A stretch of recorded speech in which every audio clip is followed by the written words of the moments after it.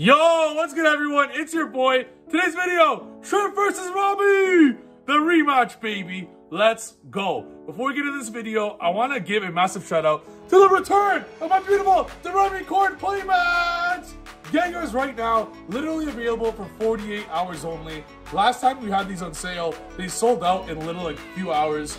And look at the artwork. I mean, it's absolutely incredible. So make sure to go check them out right now. I want to give a massive shout out to Frankie, who is the artist for, this, for these playmats.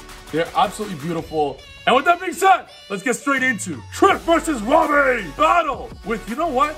I'm going to say it, with two of the best decks in the world right now. Let's go. We got Pure Pendulum Magicians versus, and to this day, I say this deck is absolutely underrated, and that is Pure Zodiac. I mean, look at his hand. Look at his hand. I'm going to be making a video very soon on pure Zodiac and just how broken it really is. Tenki to 1 does nothing. You shouldn't even fucking play Tenki because it gets negated, ashed, cosmic, anti-spelled, and pure ordered versus a Zoo that can't get negated. You just normal summon and get 6 material Zeus, 5 material Zeus. This deck's insane, so let's get into it. As you see my hand, I'm playing the best deck in the planet, baby. Let's go. I start my turn off with Chrono Special Tuning Magician. He, need, he imperms my Needle Fiber. And it does hurt that he imperms needle fiber, but it's not the end of the world. It doesn't matter too much. I'm going to end up pendulum summoning over here. Harmonizing bring a double iris. In this scenario, I did have an opportunity. If I wanted, I could have special out uh, Dragon Pit Magician to special the Tuning Magician. But the only issue with that is that Needle Fiber is not guaranteed to be getting a... Uh, Needle Fiber is not guaranteed to, to have a link in the graveyard for the Savage Dragon, so I can't get Savage. I would prefer Needle Fiber to stay on the field to be able to use the Needle Fiber's effect for tuning Magician on his turn. So what I end up doing here, and I think about this deeply, I saw I saw Imperm that he had an Imperm, so right away I go into Dragster before anything. I go into Dragster with the Tuning Magician, which was special by its own effect, so it's not banished. If I really wanted to, I could have Selene special it out, get a free link 3, but I need Needle Fiber on the field.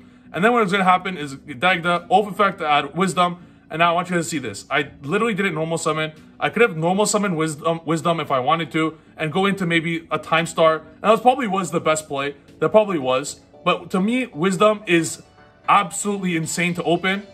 And in fact, you know what I should have done? I take it back. I literally should have Tornado Dragon popped my double iris. But the issue with this is I have no follow-up. I know for a fact that that this is enough to stop whatever deck Robbie's playing, especially if he starts with an Imperm. He's not playing stun if he starts with an Imperm. They don't play any hand traps. So this will be enough to stop him. Now, he ends up Lightning Storming my monsters, but instantly what I do is I activate Chainlink 2 Dagda, Chainlink 3 Fiber, bring out TG Wonder Magician and Scythe, Dagda gets destroyed, Wonder Magician effect, pop the Scythe, Widow, negate with Dragster, GG. This is why Dragster is absolutely insane, and this is why you need some protection for the Scythe. You can't just end on a Scythe in case he gets hit with an Imperm, and as you saw there, Robbie was playing the Widow. So, Robbie here, he's gonna really catch me off guard. He's playing, I know he's playing Gosek Zoo. Uh, he has Dark Ruler, he has Widow Anchor, he has Nibiru. And now here's the issue with this, okay? I'm not playing around Nibiru right now. I know he's playing Pure Second Zoo, so I expect him to be playing zero hand traps. I special Tuning Magician here, and uh, Time Gazer, Tuning Magician should be banished. Star Pengraph, I add Harmonizing. I'm literally just not playing around Nibiru because I don't expect him to have it. There's a way I could have played around Nibiru very easily. I could have gone Selene, at Apollousa and got into an Apollousa, but Apollousa does nothing against his deck. So I just opted not to because I thought he would play Go Second spells. I don't consider this a, mis a misplay. I consider it an unfortunate, a series of unfortunate events here. So one of the two magicians should be banished, by the way, because I special the zone effect. I use Oath to add Harmo, and I just have to hope I survive. He summoned a Zoo, I'm like, there's nothing I could do there. I still highly advise, do not play around Nibiru going second in decks that you know don't play Nibiru. Some decks might, so in that scenario you do. So over here for this hand, Robbie has Dark Ruler, Lightning Storm, Desires Ash, and Thoroughblade. My hand is not that crazy here, but I also do know one fun fact. I made him go first.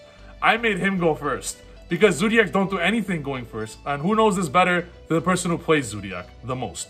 So over here, he sets up an Imperm. He has Imperm Ash, Vespinato. Great setup here. So I'm okay. We're fine. We're totally fine. Double Iris, Wisdom. Let's go Oath Dragon. Effect, add Harmonizing. Now I'm just going to simply Pendulum Summon. So I'm going to Pendulum Summon. I don't summon the Wisdom Eye. And here's my reasoning why. And it's going to end up costing me. I, I was scared that he, was, he had a Solemn Strike or a Solemn Judgment set. I was like really scared about that. If he had a Strike or a Judgment, I was fucked. Because I wanted Oath to at least add a Wisdom for a follow-up. And then I'd kill him on my next turn. If I special the wisdom here, I was in such a great position, but you know what? I didn't. I go into Time Star here to search, any imperms. Uh, it's unfortunate, but it's fine. I go Duelist Alliance, and I normal summon Double Iris. I crash, and at this point, here's why I crash a Double Iris. I crash because Time Star's effect will then send Tuning Magician to the graveyard, and then Tuning Magician will be able to special summon itself, completely forgetting that he impermed me. Literally the biggest misplay ever!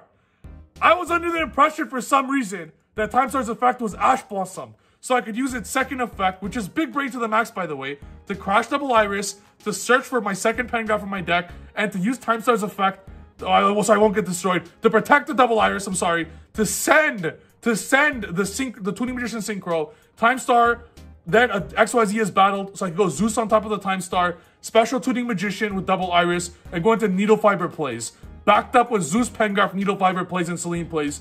And like the biggest moron in the universe, I couldn't do it because of the Time Star.